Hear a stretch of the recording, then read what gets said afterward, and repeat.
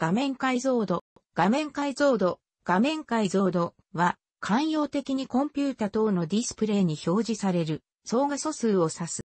本来の解像度の言葉通り、画面の精細さを指すこともあるが、区別する場合は、画素密度、ピクセル密度、ピクセルデンシティと称される。前者の場合は、横縦、横 X 縦などの形、1024-768、1920X1080 で示され、後者の場合は DPI、P の形、96DPI、600P で示される。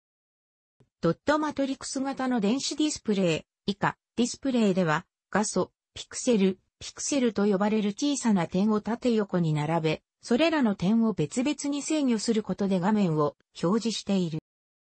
現在、一般に使用されている液晶ディスプレイでは赤、緑、青の3つの複画素、サブピクセルのそれぞれの輝度を制御することで多様な色を生み出しており、通常は複画素3つ合わせて1つの正方形画素になっている。例外として、シャープのクアトロンでは赤、緑、青、木の4色、ジャパンディスプレイのホワイトマジックでは赤、緑、青、白の4色正方形画素を構成している。一般的にはディスプレイ上で平面的に展開する画素の総数を使用における画面解像度としている。したがって複画素の総数ではない。ただし、一部の機種ではバイヤー配列に似た配列など、複画素の色と配置構成を変えることで実際よりも見かけ上の画素数を上げている場合があり、この場合正方形画素とはならないが、全体として正方画素と近似するように配置しているため、見かけ上の画素数を使用における画面解像度としている。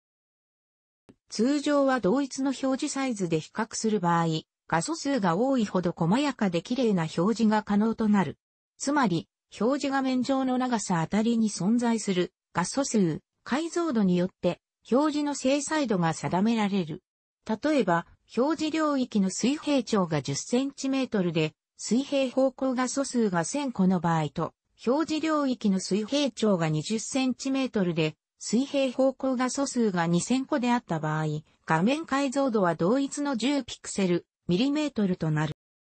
歴史上、印刷分野において、インチ単位での解像度、スクリーン線数が用いられていたことから、コンピュータ等もこの単位長さにはインチが用いられており、ISO 加盟国においても、解像度の単位は1インチ、イコール 25.4mm あたりの画素数、単位、DPI、ドッツパーインチ、または P、ピカッセルズパーインチで表示されることが多い。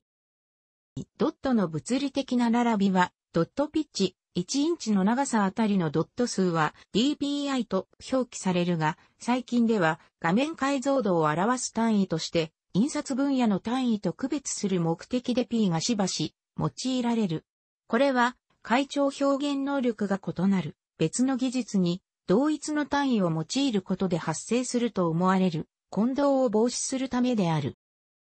例えば印刷の 100dpi とディスプレイの100ピクセル、インチを同じ単位 DPI で表現すると、あたかも同じ表現能力であるかのような誤解を生じる。単色日データのみで比較すると同等であるが、印刷においては網点を用いて多色、高い調を表現するため、物理的解像度は落ちてしまう。周囲のドットを利用するため。一方、ディスプレイの画素では256回調や4096回調といったタッチ表示が可能であるためディスプレイの100ピクセル、インチの方が表示能力が高く情報量が多いことになる。なお、本校においては誤解を生じる恐れがないため DPI と P を同じとして記載している。これは例えば1000ピクセルの画像を100%表示すれば1000ドットとなることによる。かつてマッキントッシュの画面解像度は常に 72dpi に統一する設計だった。これは1ポイントが1ピクセルに相当するためである。逆に言えば、ディスプレイの大きさが同じならば、ピクセル数は一定で対速のソフトやハードでは変更できないようになっていた。また、Windows 7までのマイクロソフト Windows では、以下のように解像度は規定されていた。23インチフル HD 画面における画素密度が規定解像度であった。最近の画面の高精細化の傾向により、これらはより見やすい表示にコントロールできるようになりつつある。画面モードとはディスプレイに表示される総画素数、横縦のピクセル数、またはそれに加えてリフレッシュレート、色深度などの値を定義したもので、コンピュータの歴史上様々な規格が利されてきた。特定のコンピュータでどの画面モードが表示できるのかは、そのコンピュータに搭載されているビデオカードの性能に依存している。よって、特定の画面モードを得たい場合はそのビデオカードが必要な容量のビデオメモリを搭載していることとディスプレイのインターフェース仕様に合致する適切な信号を生成できるものである子が条件となる。また当然であるが、その画面モードの画面解像度を表示できる能力を備えたディスプレイを用いる必要がある。ただし、表示内容を観察するためだけであればその信号を表示できるディスプレイを用いれば十分である場合もある。画素数で示される類似のものとしては、デジタルカメラのカラー撮像装置があるが、カラー撮像装置の光感、画素については、ディスプレイでは複画素として扱っているものを画素として呼き、その総数を画素数としている場合が多い。このため、使用画素数が同じであれば、カラー撮像装置よりディスプレイの方が高精細である傾向にある。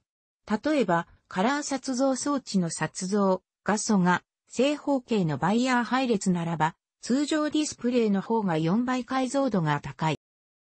消費者向けカラーテレビ製品においては、画面解像度とほぼ同義語であるディフィニションが画質として呼ばれることが多いが、直訳すればイメージクオリティとなるように、本来なら画面解像度だけで画質が決まるわけではない。画質を左右する要素は、それぞれの画素が表示できる色数や、その再現性など、他にも多くの要素を考慮に入れる必要がある。以下の表は、ピクセル数の少ない順に画面モードの種類を並べたものである。多くの解像度で4で割り切れる偶数が用いられるが、4で割り切れない単偶数が用いられることもある。また、アスペクト比を優先するために奇数が採用される場合もある。比はピクセル数の比で、ピクセルが正方形ならば画面アスペクト比に等しいが、一部の規格、主に古い規格はピクセルが正方形ではないので画面アスペクト比は異なる。ピクセルが正方形ならば画素密度による画面解像度はピタゴラスの定理からで求まる。なお、ブラウン管には表示されない領域、ブランキング期間があるが、使用上のインチ数は表示領域の対拡張ではなく、間自体の対拡張となる。PC では一般のテレビの画面に習った横、縦の比率4、3のもの、640、480、800、600、1024、768などが長く使用されていたが、Windows Vista が登場した2005年頃から、ハイビジョンや映画ドとの比率に近い16時10分、8、5や16、9といった横丁、ワイドの画面が多くなっている。2016年現在、16、9のアスペクト比、1280、720、1366、768、1920、1080などが主流である。楽しくご覧になりましたら、購読と良いです。クリックしてください。